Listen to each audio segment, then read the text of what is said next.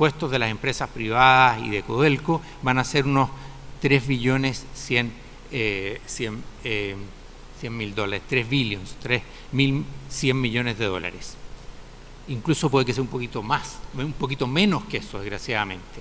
Eh, porque esta es la última estimación que se hizo al presentar el presupuesto y, y, es probable que sea algo menos porque este, estos meses, estos trimestres está siendo más negativo de lo que se anticipaba. Bueno, el año pasado fue 4.800 millones de dólares los ingresos que tuvo el fisco. O sea, este año eh, los ingresos eh, son significativamente menores que el año pasado, 1.700 millones de dólares. Incluso puede ser incluso mayor la caída. Pero miren lo que pasó en el superciclo. 10.400 millones de dólares de ingreso anual. Comparemos entonces la realidad de este año con la realidad del periodo de superciclo y el próximo año, eh, incluso de manera optimista diría yo, se estima que los ingresos van a ser poco más de 2 mil millones de dólares. Entonces, creo que muy lejos estamos de ese periodo que duró 8, 9 años de superciclo, muy lejos estamos de esa realidad este año, el próximo y los siguientes. Por eso digo, terminó el superciclo eh, con todas las consecuencias que tiene en materia de ingresos. Codelco el próximo año va a aportar eh, alrededor de mil millones de dólares. Yo también estuve en Codelco el año 2006.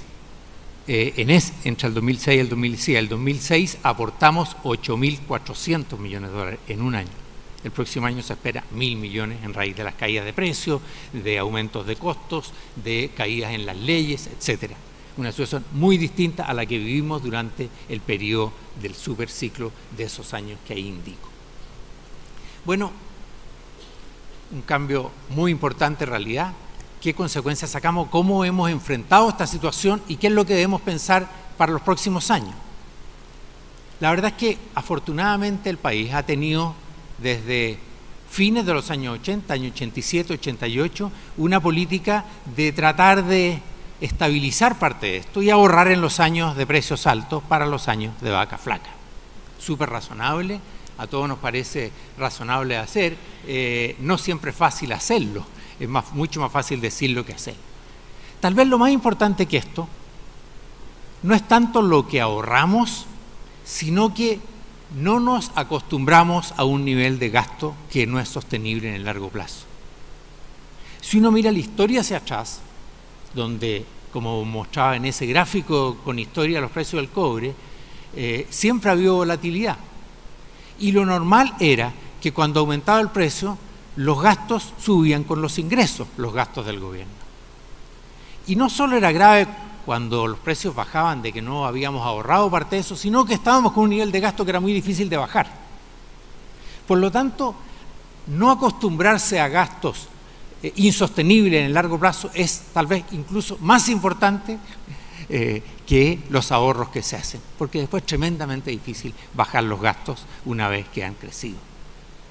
Por lo tanto, esta política de, que con distintas formas, desde el año 2001 a través de una regla, en los años 90 a través de un mecanismo de estabilización, buscaba adecuar los gastos a los ingresos que parecen sostenibles en el largo plazo y los que no, ahorrarlo para el momento malo. Y para eso se ha definido esta idea del precio del cobre a largo plazo, precio de tendencia, eh, y, miremos qué ha pasado con eso. Y es lo que tengo, ups, ¿no está el gráfico? Bueno, eh, alguien borró el gráfico, eh, se lo voy a contar.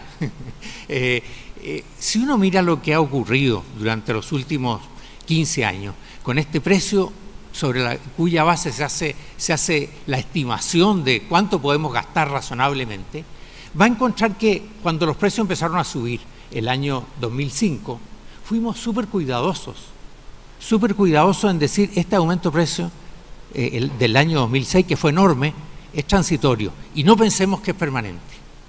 Así fue el 2006, así fue el 2007, el 2008 empezó una crisis, el 2009, por lo tanto, no era para pensar que tendríamos precios muy altos.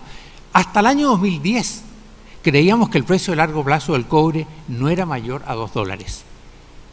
No era mayor a 2 dólares en el largo plazo, lo cual si uno mira la historia está bastante correcto, porque yo les dije que en promedio, en precio, en moneda actual, es de 2 dólares 10.